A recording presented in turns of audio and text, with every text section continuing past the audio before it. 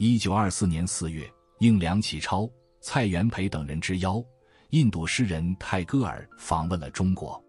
访问期间，陪同翻译的徐志摩向泰戈尔介绍山西乡村建设情况，引起了泰戈尔的浓烈兴趣。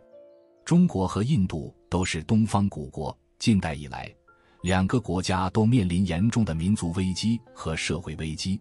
两国的仁人志士也都在探寻救国救民的真理，泰戈尔自然也不例外。诗人都有悲天悯人的济世情怀，写诗之余，泰老爷子一直在家乡搞乡村建设，进行社会改革实验，对三农问题颇有心得。听了徐志摩的话后，决定到山西考察一番，交流经验。五月二十一日，时任山西督军。省长阎锡山在督军府接见了泰戈尔一行，双方进行了深入会谈。泰戈尔，请问阎先生，东方文化是什么？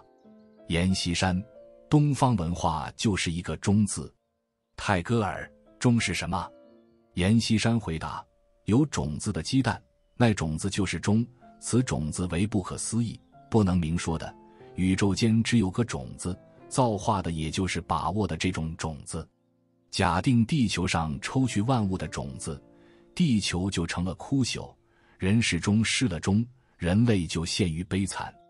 泰戈尔又问：“我到了北京、上海和天津，怎么没见到你说的中呢？”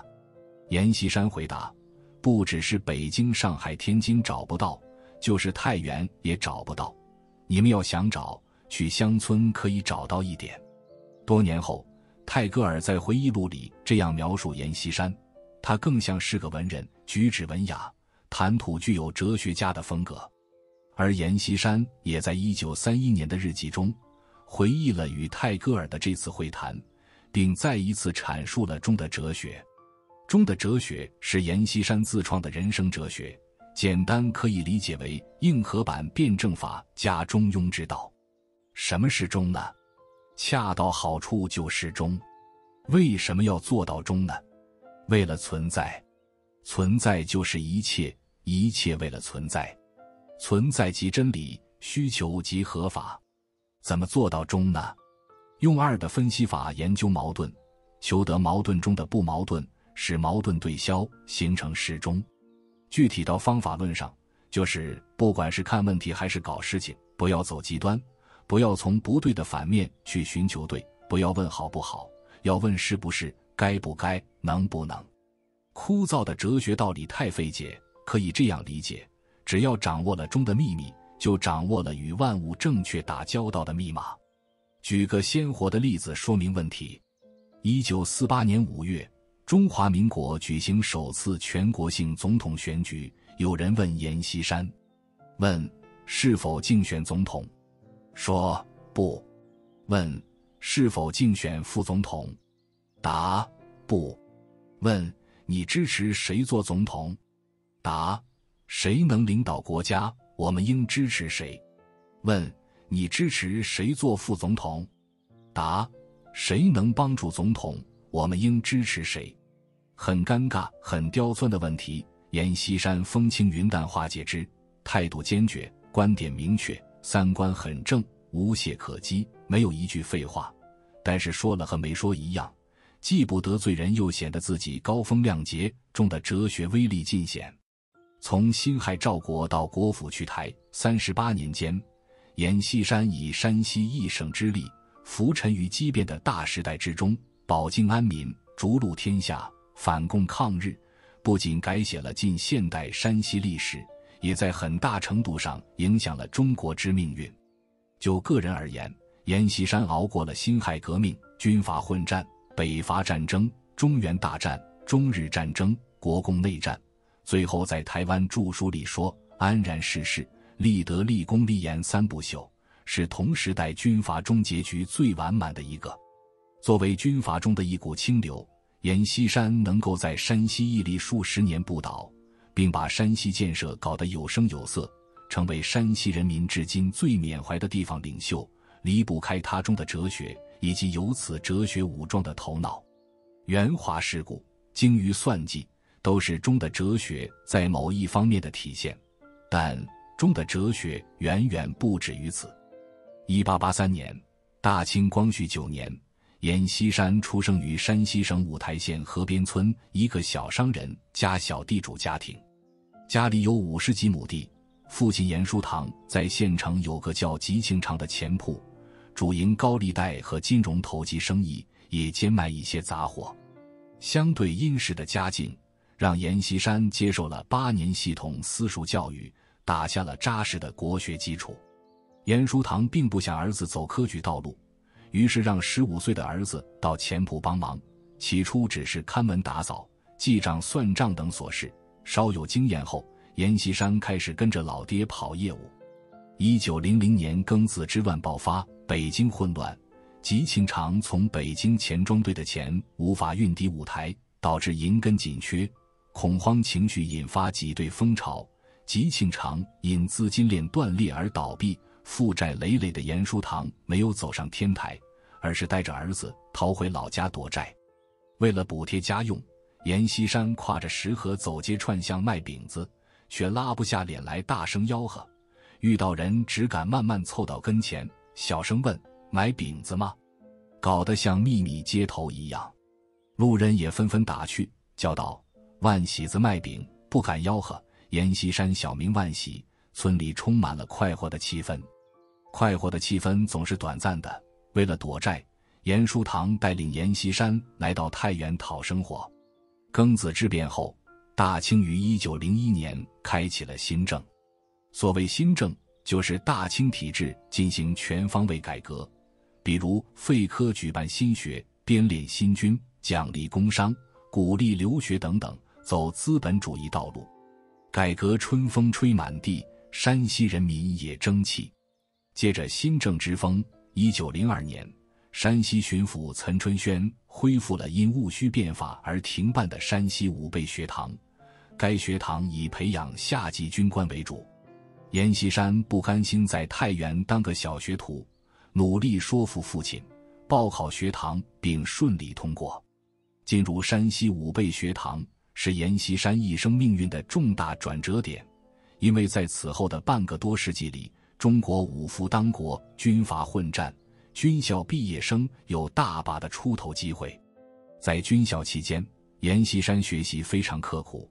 与同学和老师的关系处理得很好，还当上了班长，而这又为阎锡山打开了另一扇机会之门。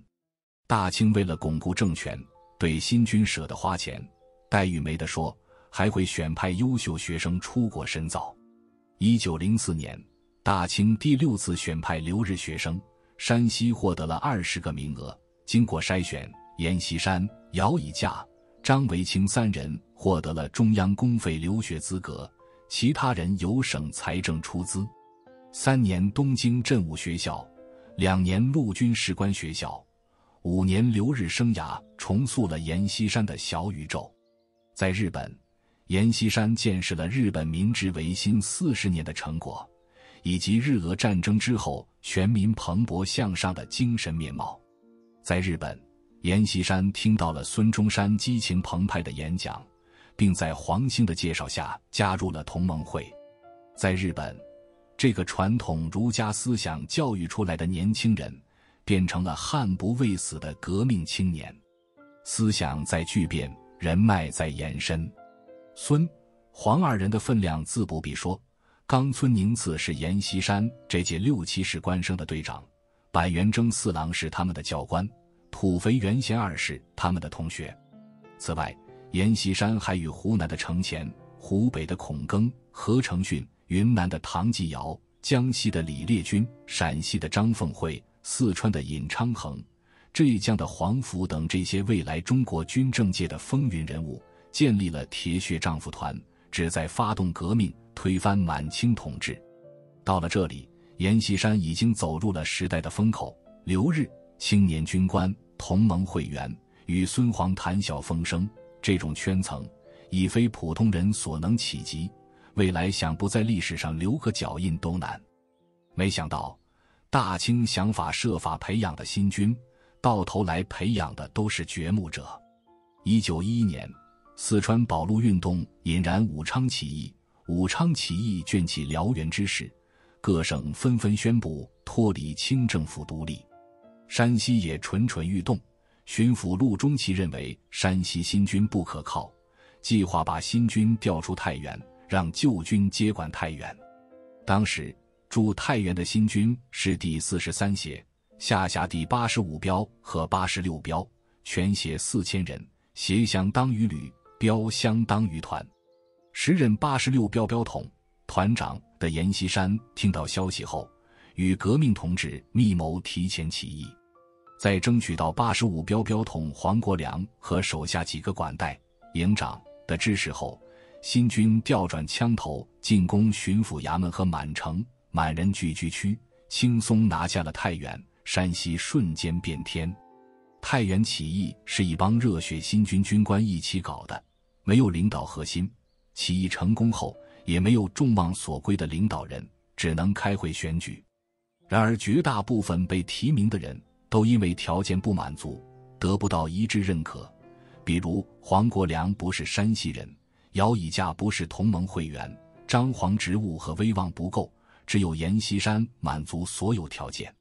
就这样，经一致举手通过，阎锡山当上了山西军政府都督。当二十八岁的阎锡山成为一方诸侯的时候，他的同行们，三十六岁的张作霖还在东北总督赵尔巽麾下听差，二十九岁的冯玉祥只是北洋新军第二十镇的一名管带、营长，密谋发动滦州起义。二十四岁的蒋志清、蒋介石写下遗书，密谋率领敢死队攻击浙江巡抚衙门。二十岁的李宗仁还是广西陆小刚毕业的青涩学生，然而这并不重要。个人的努力和历史的进程交互作用，先行者未必一直领先，后来者未必不能弯道超车。太原起义后，全国局势并不明朗，革命之火虽然遍地开花，但大清有专业灭火队北洋六镇新军。果然，清廷得知山西有变。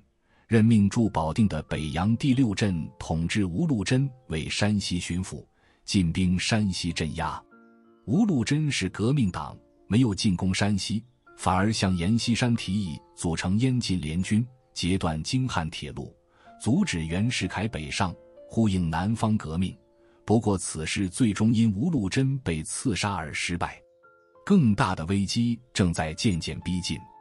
十一月十五日。清廷下令曹锟率领北洋陆军第三镇开拔石家庄，进攻娘子关。